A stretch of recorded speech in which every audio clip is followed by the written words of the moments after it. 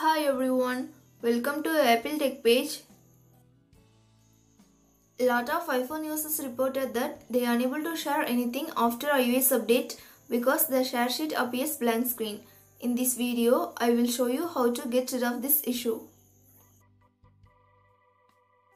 Solution 1 is force quit Photos app and reboot your iPhone. If you are using iPhone 10 and later models, swipe up the screen from bottom to center of the screen, then swipe up the app's preview to close. If you are using iPhone 8 Plus and earlier models, double press the home button. Next, swipe up the app's preview to close the app. Go to Settings app to restart your iPhone.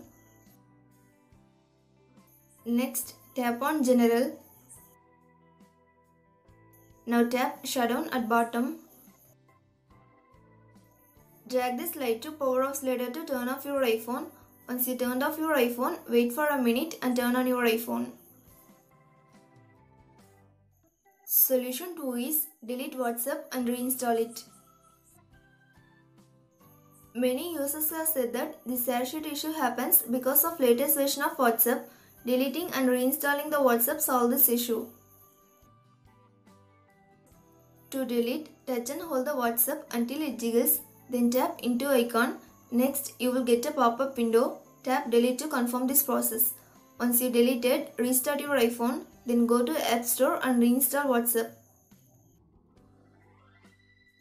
Solution 3 is turn on airplane mode and turn off it. Open Control Center or Settings app. Now turn on airplane mode and wait for 30 seconds. Then turn off airplane mode again. Solution 4 is Reset Network Settings. This process deletes your Wi-Fi networks and passwords, APN and VPN settings and cellular settings. First, tap on Settings icon from the home screen. Then tap on General. Scroll down and tap Reset option. Here, you have to tap on Reset Network Settings now you will be prompted to enter your iPhone's passcode. In the pop-up window, tap Reset Network Settings to confirm this process. Solution 5 is Reset All Settings.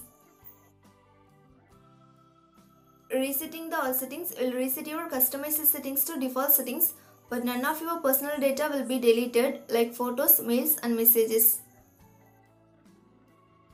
Launch Settings app on your device. Next, find and tap on General.